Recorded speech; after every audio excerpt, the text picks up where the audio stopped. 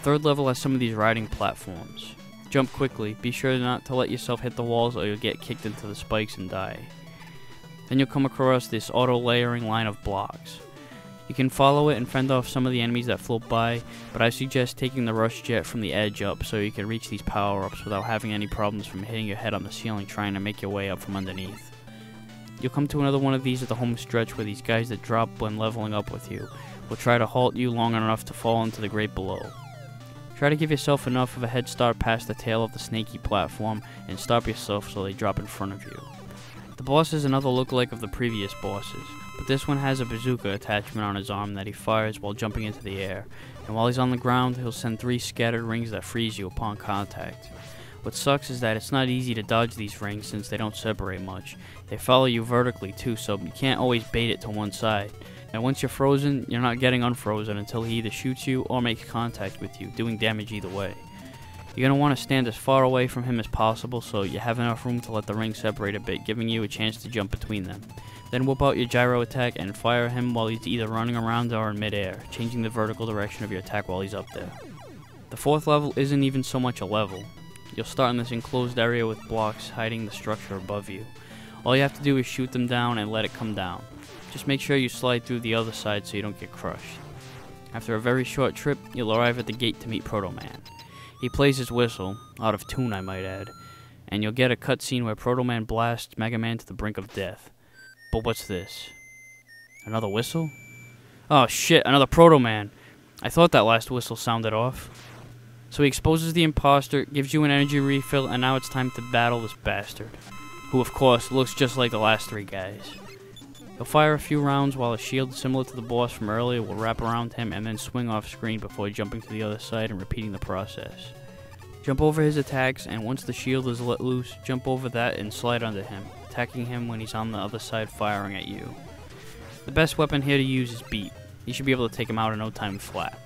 After you win, Dr. Wily appears, big surprise, and reveals that he was the one who kidnapped Dr. Light and framed Proto Man with an imposter named Darkman. So now it's on to the Skull Castle to rescue Dr. Light and put Dr. Wily in his place. Again. The first level starts off with an easy E tank and M tank just waiting for you to pick them up.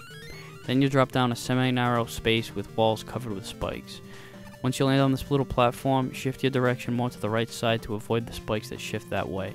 And because the only safe spot on the floor once you land is on the right. There'll be these spinning wheel platforms over a pit with little spike things that hover around the perimeters of some of them. Try to keep your balance on these things and make your jumps when there's a clean area to land on. Also take the top route here, it's easier. After that you'll hit a revisit form of a portion of Dustman's stage with the trash compactors. This time they come down faster, the trash doesn't stretch out as far, and you can't use one Mega Buster shot to clear a whole line of them. Stand back when blowing up the chunks of garbage. If you get too close, you'll get crushed. The boss is broken up into three pieces.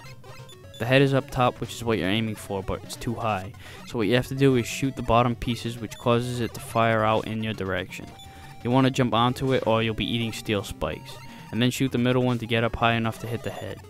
While you're doing this, avoid the little guys it releases that cascade down. Once you get onto the middle platform, change to the crystal eye and shoot the head. Then switch back to the Mega Buster to summon the platforms again. Keep doing this until you kill it. The beginning of the second stage, much like the first, has an E-Tank and M-Tank just sitting there in the open. No effort needed in acquiring them. You'll end up underwater, and here you'll have to be pretty good at timing your jumps because there's spinning wheels you have to jump on, along with some spikes on the ceiling, plus hard hats. A lot of hard hats. Dr. Wily really loves these hard hats, doesn't he? The rest of the level is pretty basic. You just go around shooting down familiar enemies.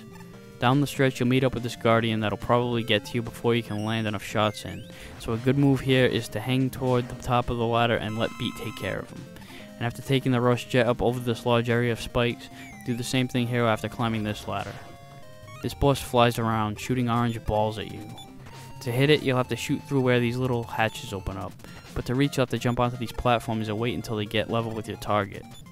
Fire the gyro attack through the gaps and retreat if you're under attack by the orange balls or if the monstrosity weaves his way in your direction. The third stage is where you'll battle all 8 Robot Masters again in rematches. Choose the order of your opponents wisely, using the same weapons you used the last time. Although this time you can use the Star Crash against Gravity Man. One thing that kinda sucks is that they put you right back in the exact same rooms you fought them in the last time. I always liked how you fought them in newly designed layers in the rematches. Add a little something different to the mix. Anyways, once you beat the 8 robots, you'll do battle with Dr. Wily in this room with a small pit of spikes in the middle. He'll hover around in his ship, stop somewhere, come crashing down, and then pop back up, repeating this attack over and over again. You have to hit the upper part of the ship once he lands, and he'll always stop above you. So the best place to stand is right near the pit. This way he'll be in the vicinity of the middle, giving you the option to run back or to quickly jump over the spikes, whichever escape is closer. Either way you'll get time to shoot at the upper half of the ship, which is its only weakness, so charge up your Mega Buster while it's hovering around and fire it after it lands. Once it blows up, Wily escapes, and it's on to another level, but that's not much of a swerve, because you already knew going into it that there was a skull icon on the map between levels.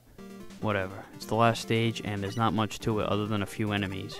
The gate to Dr. Wily shows up right away.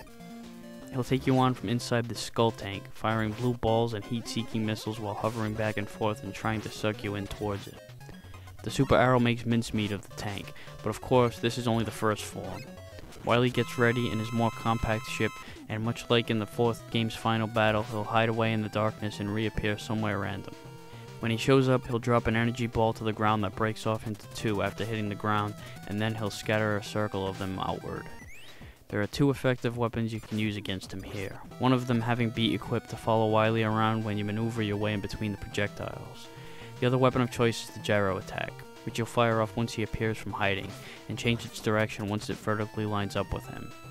Don't try to get two hits on him, you won't have enough time and you could find yourself out of gyro energy. Hopefully you'll still have an M-Tank if this occurs. Once you drain all his energy, Wily will run off and Mega Man will chase him down until he gets to Dr. Light's cell. Mega Man rescues Light, but the building starts falling apart and Mega Man desperately tries to hang on to the collapsing ceiling while Light and Wily run around for their lives. Wily escapes, Proto Man's whistle plays, a path is cleared for Mega Man and Dr. Light to escape, and we see the Skull Castle's demise. Wily taken off in his spaceship, and Mega Man and Light watching, with Proto Man in the foreground. The credits roll here, and I must say that story-wise, this was a great idea, but it really would have been better as the story to Mega Man 4. For one thing, they already tried the swerve of a new nemesis in Dr. Cossack the last time, so when we learned that Proto Man was going to be the villain in this game, there was no shock value whatsoever in Dr. Wily being the mastermind. Having Proto Man as the apparent antagonist would have perfectly followed up the mystery of the Mega Man 3 ending, with Wily seemingly dead and Proto Man being the one rescuing Mega Man and then disappearing right after. But oh well, what's done is done. All in all, this was what you'd expect out of a Mega Man game at this point formula hasn't changed since day one, which isn't exactly a bad thing because you'll at least know going into it that you're getting a solid game out of the deal. But is the franchise getting a little tiring at this point? Possibly. If you're not a big Mega Man fan, then there's not really a whole lot of reason to play the game other than to kill some time. When you look at this game by itself, it has all the attributes a good game should have. Excellent graphics, great sound, great control, great gameplay, as a game, it's technically sound, but because it's the fifth entry of a big franchise, the expectations are to live up to the standard of its predecessors. And while it's a generally fun game, it doesn't really evolve the Mega Man franchise too much, and the series is starting to wear itself out a little bit. So that wraps up this edition of Aqualung's Game Reviews. See you next time.